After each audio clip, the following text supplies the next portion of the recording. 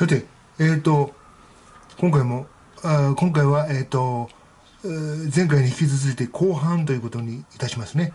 で、The Economist のあここに出てくるように、ね、April 11th、2020という、えー、もの、1週間ほど前のものですね。この、このエコノミストのあ43ページの、43ページ目ね。前回はちょっとあの、ネット上でお見せしましたけども、やっぱり紙の方がちょっと僕は好きなので、紙で、紙でやりますね。さて、こういう、まあ、写真がついてるということでね、写真ね。うん、で、えー、そのトルコの様子、様子ですが、さてと、で、ちょっと前回のちょっとさ復習しますけど、A trip to the toilet で出てきましたね、ここ。ここに、trip to the toilet って出てきましたね。この、えトイレへの trip というトイレに行くことなんですけども、トイレに1回行ったら a trip to the toilet。えー、トイレに3回行ったら3 trips to the toilet ね。で、トイレに行くって本当にね、えー、数秒、あるいは数十秒で、えー、数十秒、あるいは数分で済むことなのに、あ、トリップって言うんですね。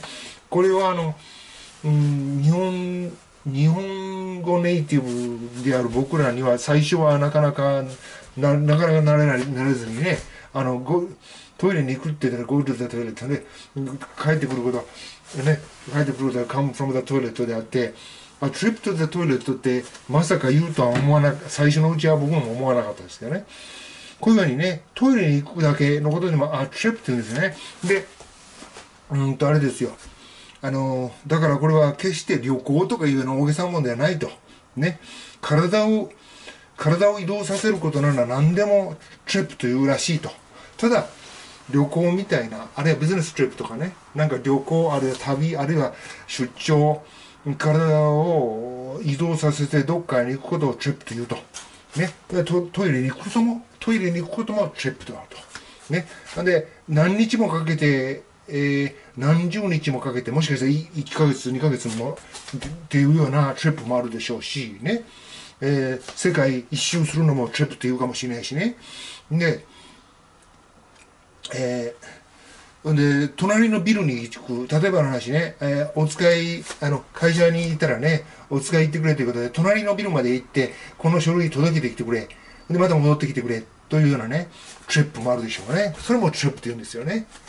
だからトリップって言ったらまああの日本語ではね。これどうやって訳すべきか。もうどこそこに行くとしか言いようがないですよね。あのそういうように訳すしかないですよね。だからこれはもうこのまま覚えるしかないですね。というわけでこういうトイレに行くだけのこともトリップという。で隣のビルに行くこと隣の隣のビルにお使いに行ってまで帰ってくることもトリップというということですね。だから例えばお母さんにお母さんにあの何？ショッピングあの買い物行ってきてくれって言われてはいって言って。でね、えー、八百屋さんに行ってまた帰ってくることもトリップって言うんでしょうねおそらくね多分。うん。というわけで、えー、今回はちょっとその続きということでちょっとあのソニーのね ソニーのこれを今使ってます。いいでしょこれね。でソニーの三脚ですよ。ね。で but nothing quite matches、この1行目ね。But nothing quite matches Turkey's love for Cologne. じゃあ前回のちょっとだけ復習ね、うん、トルコのしかしあのトルコのオーデコロンに対するあの愛着にかなうものはかなうものはあまりないと。でええ全くないんだったら nothing matches なんとかですね。で quite がついてるからま全く、うん、トルコのトルコのトルトルコ人たちのそのオーデコロに対する、えー、対してオーデコロに対するあの愛着に全くそのまんま適合するものはないということだから、まあ、あまりないあまりないという感じね。そのトルコ人のオーデコロに対する愛着にかなうものはあまりないと。あまりないと訳せばいいですね。nothing quite quite がついてるからね。quite をあの否定するからあまりないと訳せばいいんですね。次、named after the German city in which it was invented? ね。えー前回もこれ、前回これやりましたけども、えージャーマン、えー、と、待てよ。それ、すなわち、オーデコロンが発明された、あドイツの町から、町にちなんで、えー名前が付けられ、付けられたのだが、このオーデコロンは、っていうことですね。えー arrived in the Ottoman Empire in the 19th century. あの、このオーデコロンがあオスマントオスマン帝国にたどり着いたのは19世紀のことだったと。で、it found, その次ね、うんと、これね、it found a, it found a brand ambassador in Sultan uh, Abdul Hamid uh, II, who uh, carried Atkinson Atkinson's uh, cologne wherever he went and could get through a bottle in a matter of hours. えっと、それ、すなわちオードコロン、オードコロン、オードコロン、オーデコロンは、あーえっと、サルタン・アブドル・ハミード2世の中に、えーブランドの、ブランド、ブランド商品の、えーえー大使を見つけたのであると直訳したそうなりますねでな何々が誰それが例えば誰それあるいは何かのものが誰かの中に何かを見つけるという言い方をよくしますね英語ではね。find、えー find なんとか in 誰それという言い方。これはもう一つの定型文でしょうね。定型構文ですね。よく出てきますね。あのこれはなかなか日本人にはなかなか書けない英文ですがあこういうね言い方は、えーできればマスターしたいところですよね、えー訳すことはできてもなかなかこれをねさっさと口から言えるようになる。書けるようになるのはなかなか僕今のところまだまだこれ使えるようになってません。思いつかないです。普段。普段喋ってる時とかそれそこまで思いつかないです。他の言い方してしまいますね。でまあともかく、えー自然な訳し方するとどうなりますかね。うんと。うんとオーデコロンオーデコロンまでよ。オーデコロンまでよ。なんつったんやかな。サルタンのサルタンであるアブドルハミッド2世はオーデコロンというブランドを広める大使の役割を果たしたのであると。訳さないしか仕方ないですよね英語ではね。英語ではじゃない日本語ではね。でそれを英語ではこんな言い方すると。面白い言い方というか。綺麗な英語らしい方ですね。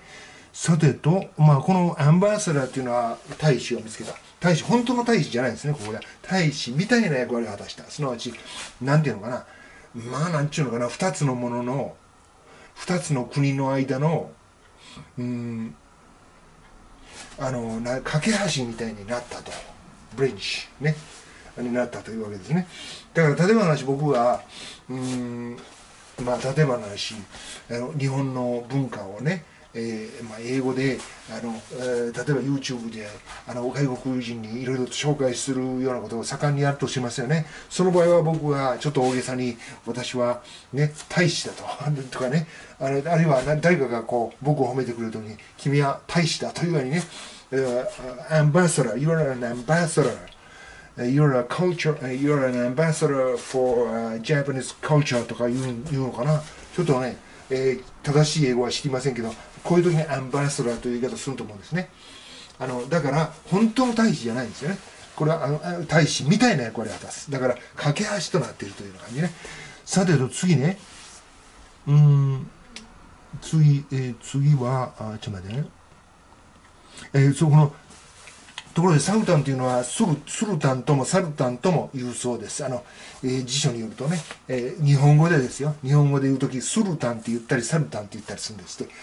だからおそらくはちょっとよく知らないんですけどね。あのトルコ語ではスルスルタンと発音するんでしょうね。多分ね。スルタンのように発音するんでしょう。それを英語式にサルタンというもんだから英語の言い方もまたあ日本でな何？英語式に発音してサルタンって言ったり、えートルコ語式に発音してスルタンって言ったり両方が流行ったんでしょうね日本の中にねだからだからスルタンとサルタンと両方の表記両方の発音の仕方が日本の中日本語の中でまあ、えー定着したんでしょうねさて Who carried Atkinson Atkinson's uh, cologne wherever he went and could get through a bottle in a matter of hours? あのこの、えースこのスルタンであるこのなんアブド・ハミード・セカンドは、えー、アッキンソンス、えーというオーデコロンを、アッキンソンズはもちろんブランドネームですよね。でねアッキンソンズっていうなあのブランドブランド名のあオーデコロンを、えー持ち歩いた、carried、持ち歩いた。wherever he went 彼がどこへ行こうともう至るところへどこへ行く時でも持ち歩いたと and could get through a bottle get through a bottle っていうのは、まあ、知らなかったんですけど僕はね get through a bottle っていうのはあの使い切るっていう意味だそうです use up ということでしょうね use up と同じでしょうねえー、一一瓶を、えーほんの数時間一瓶を数時間で使い切ってしまうこともあった。could ね。使うこ、使い切ってしまうこともあり得たということですね。あの、そういうこともあったということですね。The habit caught on. ところで could とか can っていうのはね、そういうこともあり得る。そういうこともあった。そういう場合もあった。そうでない場合もあったけども、そういう場合もあったというような時に can とか could を使いますよね。